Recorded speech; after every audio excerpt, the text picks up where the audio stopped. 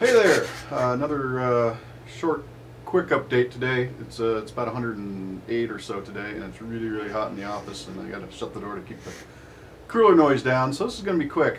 Uh, this is just a quick update for Gary on his guitar, which is a fin-bodied cutaway electric resonator.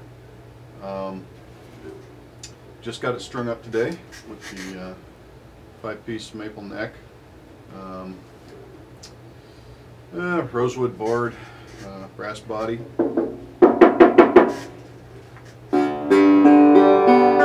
Single cone. Uh, gosh, what do we got here? Uh, we got a, uh, stamped and arched back, or pressed and arched back with uh, a couple rows of louvers on here, just kind of for fun. Um, actually get a lot of sound out of the louvers.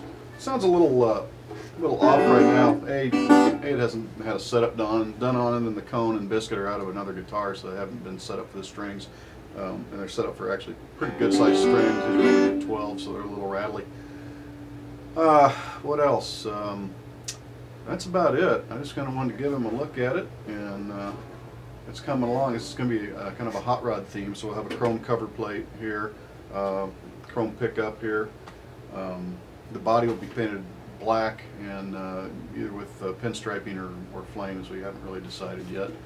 Uh, everything else is pretty much as you see it, uh, other than a logo and a truss rod cover, uh, things like that. Um, give it a quick. As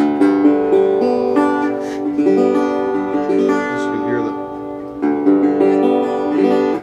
This came out of a baritone guitar set up for 16 through 60, so saddle's a little loose.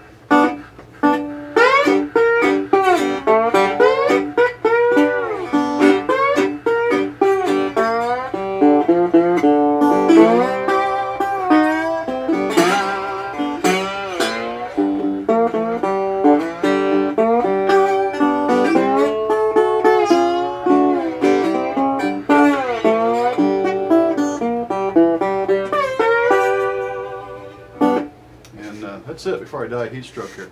Thanks for looking.